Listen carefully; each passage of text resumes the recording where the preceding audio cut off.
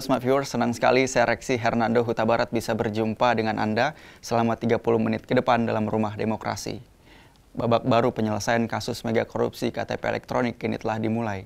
Senin 17 Juli 2017, KPK menetapkan Setia Novanto sebagai terdakwa tindak pidana korupsi dengan nilai kerugian negara sekitar 2,3 triliun dari total pengada pengadaan nilai 5,9 triliun rupiah. Bagaimana keputusan Setia Novanto ini? Selanjutnya kita akan bahas mengenai hal tersebut bersama narasumber kami, Bapak Marta Sanjaya. Halo Pak Marta. Halo. Bagaimana kabarnya Pak? Baik, baik aja. Baik-baik aja, selalu sehat. Terima kasih Pak Marta Ya. karena telah bersedia hadir bersama kami di studio Binus TV ini. Ya, sama-sama. Pak Marta, terkait dengan eh, putusan Senin kemarin bahwa Setia Novanto kini ditetapkan sebagai eh, terdakwa eh, merugikan negara hingga 2,3 triliun dari total 5,9 triliun rupiah. Bagaimana menurut Bapak mengenai penetapan ini, Pak? Hmm, baik, makasih ya. Eh, penetapan eh, seorang SN itu adalah satu ketetapan yang ada dasarnya dengan beberapa eh, barang bukti. Karena di KPK itu menetapkan seseorang sebagai tersangka itu banyak eh, yang dipelajari oleh eh, penyidik-penyidik. Penyelidik- penyelidikannya bahkan udah bertahun-tahun ya, Sudah dari cukup lama. tahun yang lalu Iya. Nah, jadi ada barang buktinya terus disangkakan sebagai bagian dari bahwa dia ikut berperan dan terlibat di dalam kegiatan tersebut. Nah, orang sudah me- me- menduga ya. Itu hal sesuatu hal yang nggak nggak aneh yang nggak heran. Dan itu akan dan pasti akan ada yang namanya pembuktian sekarang ini. Nah, jadi dengan dengan eh, tersangkanya SN tadi adalah sesuatu babak baru dalam mengupas yang namanya kasus elektronik KTP yang merugikan negara yang cukup besar sampai triliunan rupiah, Pak. sampai triliunan rupiah. Nah, bagaimana eh, proses hukum itu berjalan dan bagaimana keberadaan SN terlibat di dalamnya, biarlah hukum yang berbicara. Kita hanya sebagai mengamati dan kita hanya bisa melihat dan memonitor.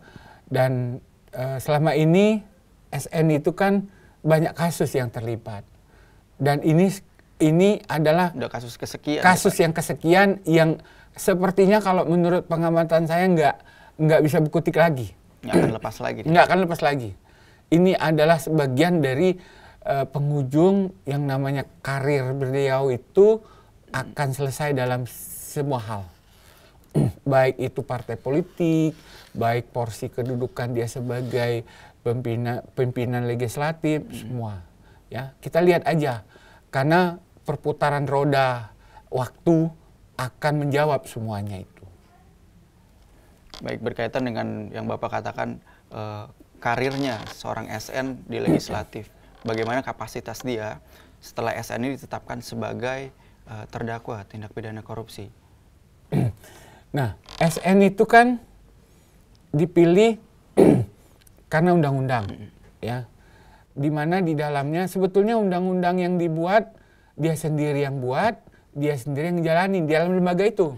Nah, aturannya orang kan mengasumsikan pada saat eh, pelaksanaan pemilu kemarin, pemenang pemenang pemilu itulah suara yang paling terbanyak men- mendapatkan porsi kedudukan di dalam lembaga itu Lembaga legislatif ya. sebagai ketua dan sebagainya. Tapi ini kan enggak. nah, lalu dengan porsi kedudukan yang sekarang, kan aturan eh, Undang-Undang M3 menjelaskan demikian. Nah, dasar itulah yang harus kita lihat ya, mengevaluasi. Maka saya sebutkan tadi, awalnya kan dia memang sudah dari hasil eh, musyawarah mufakat di dalam lembaga itu ya pada saat itu tapi pada sa- pada akhirnya dia pernah turun sejenak sebagai ketua digantikan sama Adi Komarudin lalu dia kembali waktu kemarin yang masalah karena kode waktu masalah kode ya, itu Pak? papa misat saham itu. Nah harusnya kan dia menyadari lah yang namanya eh, porsi dari kedudukan itu eh,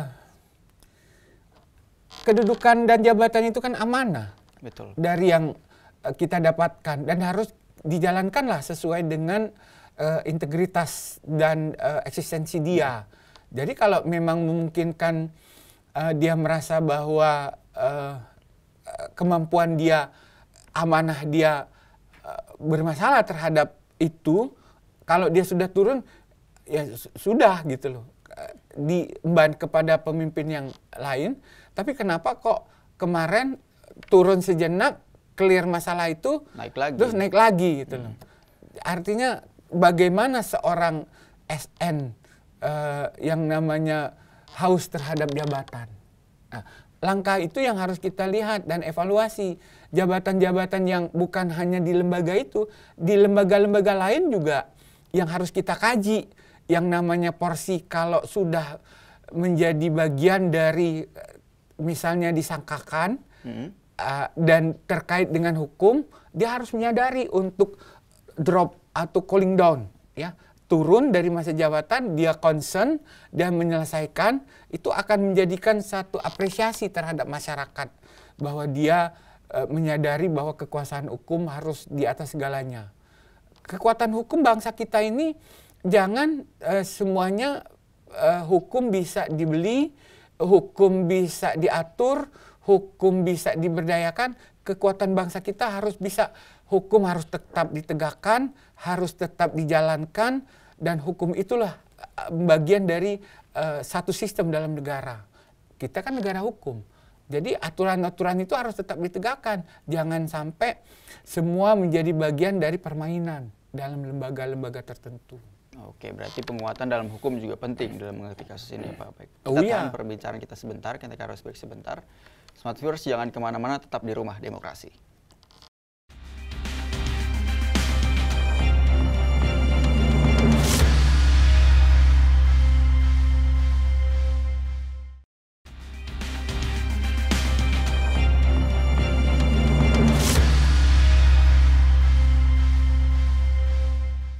Terima kasih Smart Viewers masih bersama kami dalam Rumah Demokrasi untuk topik Setia Novanto ditetapkan sebagai tersangka korupsi. Pertama kita lanjutkan perbincangan kita. Ya. Kemudian Partai Golkar, eh, partai pengusung Setia Novanto telah membentuk tim advokasi. Ya. Menurut Bapak, eh, apakah Setia Novanto bisa berkelit lagi? Tadi sedikit banyak udah Bapak udah bahas, eh, terlebih kasus Setia Novanto lakukan bukan hanya EKTP saja, sebelum-sebelumnya udah ada Pon Riau, kemudian kasus Bank Bali, Bapak minta saham, dan lain sebagainya. Apakah saat ini dia bisa berkelit dengan adanya tim advokasi yang dibentuk oleh eh, Partai Golkar ini, Pak? Oke, dia bisa berkelit. Ya, itu kita baru kita garis bawahi. Sebab apa? Dia banyak jaringan. Ya, nanti setelah ditersangkakan, dia eh, eh, apa eh, nyari pembuktian melalui namanya eh, eh, sidang eh, apa untuk memberikan pembuktian dia tersangka apa enggak. Ya, benar bersalah apa enggak. Nah, di dalam namanya hukum, ya, itu dia eh,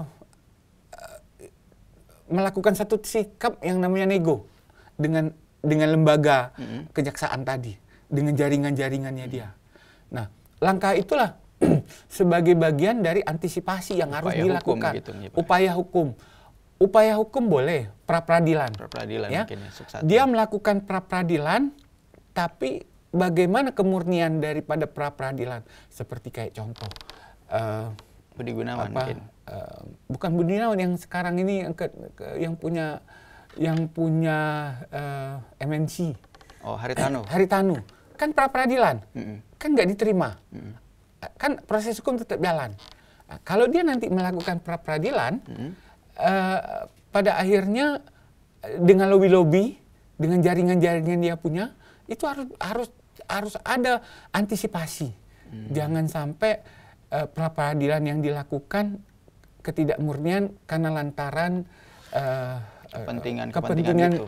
kepentingan golongan kepentingan pribadi hukum tetap harus ditegakkan harus diantisipasi itu langkah itulah yang harus lihat. Satu sisi lain, ya. Eh, jaringan-jaringan yang yang ada itu bukan hanya pra peradilan yang harus diperhatikan, tapi langkah untuk bisa mewujudkan aturan hukum agar seorang tersangka itu bisa uh, aman dalam me, me, mengikuti ya. Artinya gini kan ada pembuktian. KPK hmm. harus mencari pembuktian lebih bukan hanya dua ya. bagaimana dasar pembuktian itu untuk bisa uh, mementahkan apabila dia uh, memperadilan memberikan pembuktian pembelaan boleh boleh nggak ada masalah hmm. pembelaan bahwa memberikan pembuktian bahwa dia bersalah apa tidak tapi satu sisi KPK juga harus punya kekuatan. Ya, satu sisi KPK harus juga mempunyai kekuatan uh, bahwa pembuktian bukan hanya dua, hmm. tapi banyak lebih bahwa peran dia itu seperti apa, hmm. bagaimana uh, eksistensi dia melakukan uh, pengaruh. Kalau saya lihat kan dari hasil kajian tuh total kan 100% anggaran yang dikelola sama EKTP. Hmm. 60% digunakan, 40% enggak. Ya, benar. Yang 40% itu dipakai untuk apa? Untuk bagi-bagi. Bagi-bagi dan jaringan itu dari hulu ke hilir itu harus dideteksi. Jadi sampai sejauh mana dana itu diberdayakan dan didistribusikan untuk si, si ACB anggota dewan. Saya lihat kemarin 20 lebih anggota dewan sudah dipanggil sama KPK. -hmm. Tapi pemberdayaan uh, yang dipanggil itu enggak semua uh, hadir ya nah terus terakhir uh, Meriam yang menjadi sumpah sumpah yang dia uh, menarik berita acara itu mm. itu kan anggota komisi 2 dulu yang yang dia terlibat di dalam elektronik KTP mm. nah sekarang dia juga sudah dijadikan uh, tersangka uh, dan dia yang mendistribusikan itu uang-uang hmm. kepada anggota dewan. Ya, peran dia itulah harus di, diselusuri lebih detail lagi bagaimana keberadaan sehingga rakyat itu sedang menunggu agar kasus elektronik KTP itu benar-benar murni terbongkar. Terbongkar ya. Kita dengar Jangan juga ada yang ditutupi. Andi Narogong di sini, Pak. Ya. Karena Narogong ini sebagai ikonnya yang melanja, yang menjalankan dan pelaksana kegiatannya hmm. terhadap perangkat-perangkat elektronik itu tadi. Hmm. Dia tahu persis yang namanya seorang penyelenggara kegiatan itu dia ada yang namanya uh, surat PO, purchasing order dalam rangka menerima pekerjaan itu. Hmm. Nah, kegiatan-kegiatan itulah dengan persentase dia mendistrib dan sampai sejauh mana KPK juga harus bisa mendeteksi kedekatan antara seorang uh, eh, SN dengan Andi Narogong. Hmm. Menurut informasi terakhir dia hanya sebagai mitra kerja aja. Katanya dia sebagai uh, partner uh, uh, apa partai politik Golkar misalnya kalau ada kegiatan pilkada buatin hmm. kaos segala macam hanya unsur bisnis bisnis saja apakah Usaha, hanya ya, faktor ya, itu apakah ada faktor lain? Nah, itu KPK harus bisa menyelesaikannya. Baik. Kemudian dengan penetapan SN sebagai uh, terdakwa, apakah akan memunculkan nama-nama lain uh, selain Andi Narogong dan lain sebagainya, Pak? Kalau saya lihat sih akan, ya. Tapi ada tahapannya.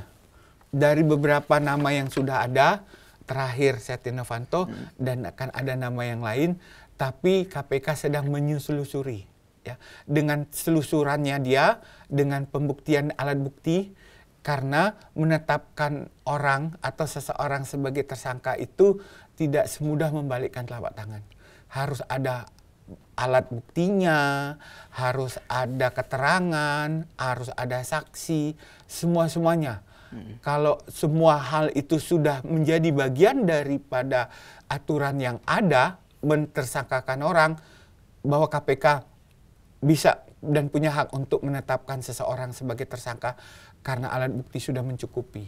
Baik, dengan adanya kasus ini tentu akan sedikit banyak mempengaruhi integritas dari DPR, Pak. Menurut Bapak bagaimanakah integritas dari DPR setelah adanya kasus Stiano Novanto ini, Pak? Drop. Ya. Karena lembaga legislatif sebagai lembaga yang di rakyat, hmm. dipilih oleh rakyat. Karena kekuatan lembaga saya melihat uh, saya nggak mau menilai bahwa lembaga DPR itu sebagai lembaga yang terkorup, enggak. Hmm. Tapi personalnya, keberadaan, bagian daripada personal. Bagaimana dia melakukan aktivitas, bagaimana dia melakukan kegiatan. Tugas utama lembaga itu kan lima tahun. Hmm. Ya, dia mendapatkan porsi kedudukan untuk peng, untuk mendapatkan uh, apa kursi di dalam lembaga itu kan banyak perjuangan. Hmm. Perjuangan dia itu kan pendekatan di dalam uh, pemilihan legislatif itu terus dia uh, apa grassroots, terus dia mengeluarkan modal segala macam gitu. Saya dulu punya pengalaman, ya punya pengalaman, hmm. baik saya sendiri atau teman-teman saya pengalaman saya nggak tingkat yang di DPR, tapi hmm. DPRD aja. DPRD. Nah, teman saya itu habis semuanya. Habis dalam arti mobil, rumah, dan sebagainya. Disita itu ya Pak? Bukan disita. itu di digadaikan, uangnya oh. diambil untuk dia pakai untuk mendapatkan sebagai anggota dewan. Wow. nah, target lima tahun. -hmm. Bekerja tiga tahun, ya tiga tahun bagaimana cara duit yang dia keluarkan sekian banyak itu untuk bisa modalnya kembali kembali kembali. balik modal. Balik modal. Nah sekian tahun berikutnya baru dia ngurusin rakyat. Hmm. nah jadi artinya lembaga tadi dia memberikan satu sistem lembaga proyek dan rakyat harus bisa dan harus menguasai sistem kontrol. Kita kan perwakilan lembaga di dalam di dalam lembaga di DPR itu. Karena kita datang di pilkada eh, legislatif pemilihan kepala uh, uh, ke, uh, apa pemilihan lembaga legislatif tadi ya terus kita milih anggota dewan ya DPR RI DPRD ya lalu begitu dipilih jumlah suaranya juga cukup banyak ya dalam lembaga itu kan ada sistem proporsional hmm. yang kita jalankan hasilnya bagaimana seorang lembaga apalagi dengan pemimpin yang sekarang itu kan semua peran serta rakyat hmm. jadi artinya uh, di sini rakyat tidak hanya memilih tapi juga harus mengawasi kinerja ya, legislatif tersebut. Baik. Persis. Kita tahan pembicaraan kita sebentar, kita ya. sebentar Pak. Smart viewers jangan ke mana-mana, tetap di rumah demokrasi.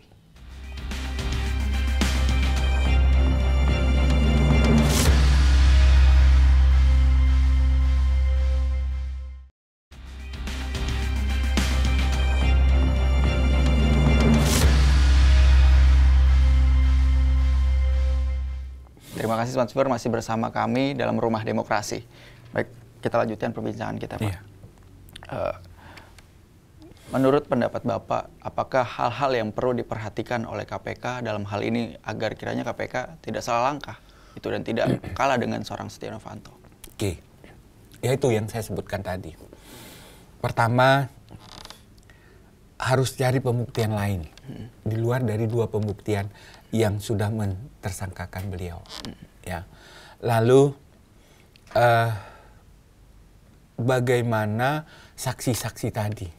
bagaimana sepak terjangnya, mm-hmm. bagaimana perannya. Jadi kalau dia sudah di dalam satu lingkaran ketersangkaan tadi, itu harus di dikuatkan dengan dengan uh, sistem, dengan pengolahan. Kan KPK itu ada uh, tersangka, ada aturan yang memang memberikan satu bagian. Kalau sudah kena jerat hukum, itu ya Artinya jangan sampai di pra peradilan dia akan bisa bebas dan lolos mm. karena pengaruh dia. Gitu. Mm. Nah, jadi kekuatan KPK tadi harus bisa memberikan satu gambaran, jangan pengaruh terhadap uh, apa namanya kerja uh, melemahkan KPK tadi, memberikan upaya melemahkan KPK. Uh, uh, upaya melemahkan KPK di dalam pengelolaan hak angket hmm. uh, uh, menjadikan dasar karena pengaruh dari sebetulnya antara hak angket hmm. dengan tersangkanya Satya Novanto itu nggak ada keterkaitan, nggak ada keterkaitan. Hmm. Jadi bagaimana saya lihat hak angket itu nggak ada manfaatnya dalam rangka memberdayakan melemahkan KPK. Ya, selama ini KPK sudah berbuat yang terbaik untuk masyarakat. kalau seandainya namanya korupsi itu sudah menjamur dan merajalela, aturan-aturan itulah harus tetap ditegakkan, nggak perlu dilemahkan. Karena dasar kekuatan seperti kayak kemarin, uh, panitia hak angket datang satu bus ngedatengin suka miskin, ketemu sama uh, koruptor-koruptor, para koruptor, ya. para koruptor. Yang dia tanyain apa di sana, yang dia obrolin apa gitu. Karena kekuatan hak angket itu menjadi bagian dari tingkat pengaruhnya bagaimana kita melihat kalau dia berupaya untuk melemahkan KPK mm-hmm. ya karena kekuatan KPK ada dasar hukumnya ada aturan-aturannya ya apakah itu nyadap ya ada orang kena OTT dan sebagainya jelas bahkan KPK buatan dari legislatif sendiri iya Pak. Jadi me seorang itu kan ada alat bukti apalagi dengan OTT dengan atau ada barangnya, ada orangnya, semua kan menjadi pembuktian. Dan kalau seandainya tanpa dan tidak ada KPK pada masa sekarang ini, hancur negara nih. Semua duit ambil kepentingan duit rakyat, ambil kepentingan pribadi. Yang kaya semakin kaya, yang miskin semakin miskin. Dan bagaimana keberadaan bangsa dan negara kita? Maka kekuatan presiden itu tadi harus lebih tegas dalam rangka mengatur sistem negara ini negara hukum harus hmm. tetap ditegakkan. Jangan sampai lebih banyak pembisik-pembisik dari luar memberikan pengaruh, memberikan satu eksistensi bahwa bangsa dan negara kita ini bukan negara pembisik, tapi ada aturan perundang-undangan yang harus kita tegakkan. Gitu. Baik, berkaitan dengan uh, Bapak katakan bahwa KPK sudah berbuat yang terbaik untuk rakyat.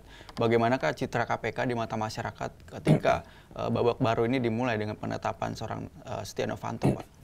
babak baru yang sudah disiapkan yang diberdayakan SN sebagai tersangka itu adalah sesuatu hal yang positif ya direspon baik oleh masyarakat karena masyarakat itu mengetahui keberadaannya pengaruh daripada seorang SN ya ini semua terkenal, su ya. semua lolos ya ini sepertinya nggak bakalan lolos gitu jadi tamu langganannya KPK iya nah tinggal waktunya saja dan bagaimana dia mempertanggungjawabkan apa yang sudah dia lakukan. Hmm.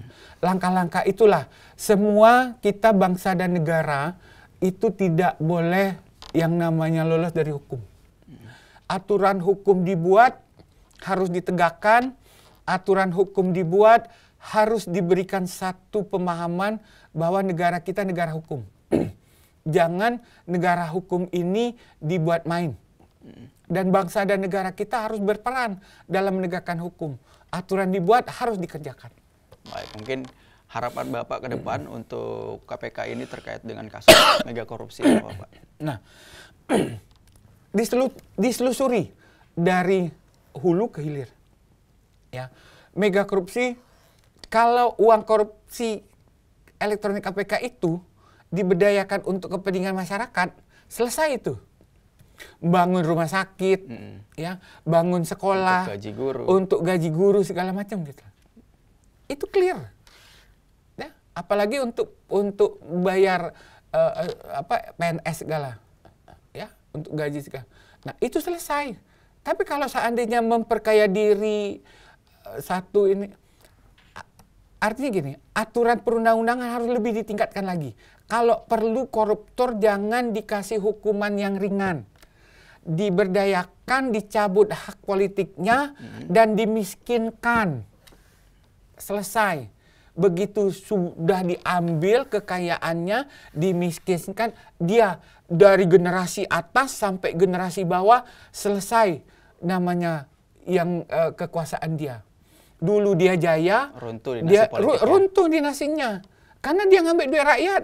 Kalau orang tuh mau jadi kaya, bekerja Benar, punya penghidupan yang layak, punya penghasilan dengan aktivitas.